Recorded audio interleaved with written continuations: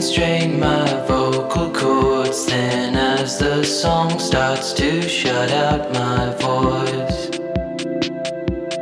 Watch me pretend like I know where to aim when I toss up my paper airplane. You've been a friend to me.